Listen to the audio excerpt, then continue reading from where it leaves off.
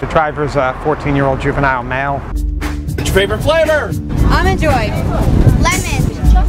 Coconut and cotton candy. Grape and coconut. Banana and chocolate. I like the ice cream.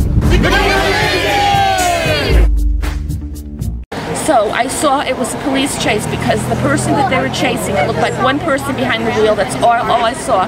He had a flat tire. This is the car wanted in the pursuit. Pursuit went from Washington Avenue down Fairfield Avenue, in and out of side roads, into Black Rock, and then finally here on Grover's Ave. So yesterday by 5 o'clock in the morning, uh, we had a home invasion on Waverly Place in Bridgeport. Uh, during the course of that home invasion, uh, the suspect stole one of the victim's vehicles with the keys.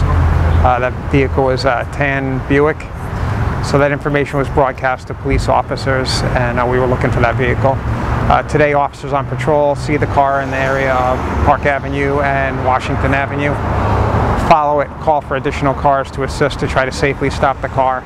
Uh, once we got units in the area, they attempted to initiate a motor vehicle stop with their license sirens, and unfortunately the vehicle failed to stop and engaged police in a pursuit. And at some point it uh, culminated in the Black Rock section of Fairfield, where the uh, driver of the vehicle crashed his car into a garage of a driveway on Grover Street. Uh, driver fled the vehicle on foot and was apprehended in the next yard by police officers. And then where, where did you find that he had on him? Uh, he has some crack cocaine in his pockets. Um, we have not recovered a weapon at this point. Uh, the driver is a 14-year-old juvenile male, so we're just not going to release his name because of his age and status right now.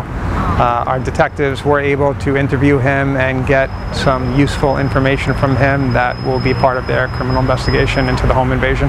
He was involved in another incident that happened on Friday where either a firearm or a facsimile of a firearm was displayed on uh, Madison Avenue. It's a, a serious juvenile offense uh, then the juvenile can be remanded to a juvenile detention center, but that can only be done on the order of a judge now with the change in the state law.